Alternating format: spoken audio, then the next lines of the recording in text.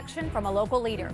It's not too cold out now, but don't expect that to last. The day this week that you're going to want to crank up the heat. And could we be getting a shot at our first snow soon? Storm Team 4 is working for you.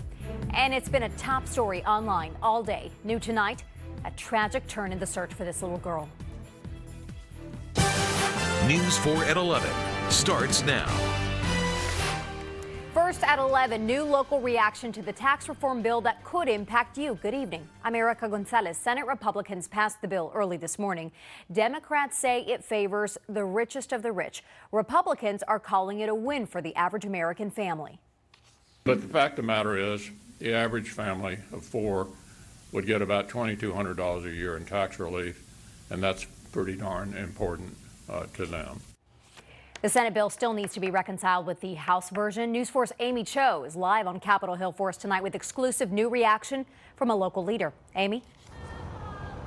Erika, D.C. Mayor Muriel Bowser just gave us a rare late night interview about an hour ago. She wants to make it clear she feels this tax code was rushed. She says she